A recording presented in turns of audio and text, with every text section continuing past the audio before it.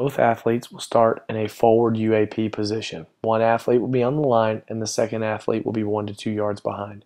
On command, they both will sprint for a designated amount of distance with the second athlete trying to catch the first athlete.